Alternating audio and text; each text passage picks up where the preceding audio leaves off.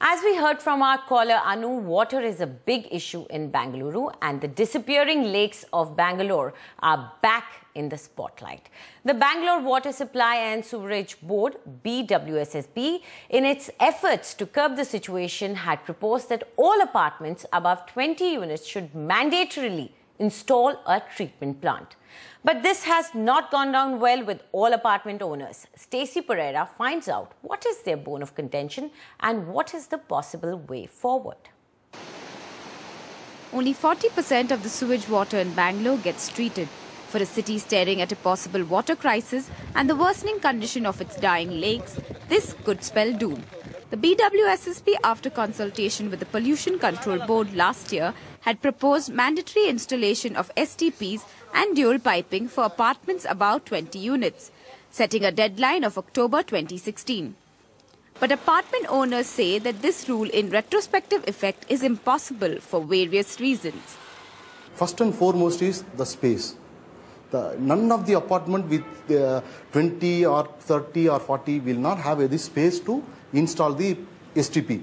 Dual piping is highly impossible to do for the existing buildings because there we have to have do a lot of changes for the plumbing lines.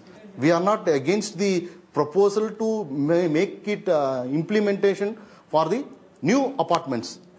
So we are uh, objecting only to the older apartments. Setting up an STP is no easy task. It costs up to 20 lakhs for an STP with a capacity of 50 kiloliters per day.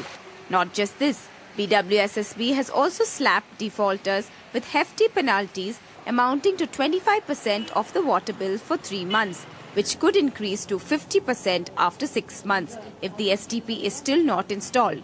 Apartment owners who felt targeted had written to the Chief Minister, which forced the government to reconsider its order.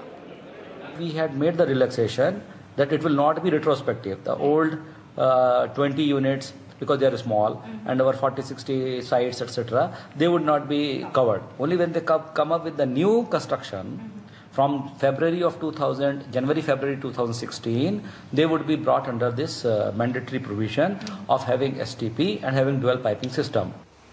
Penalties too have been deferred to 31st December 2017 this may come as a temporary relief but is this the best solution for the city's poor sewerage system? All stakeholders should come together to think of a long-term strategy for addressing Bangalore's sewage woes. A mere band-aid may not help the fracture. In Bangalore, Stacey Pereira for NDTV.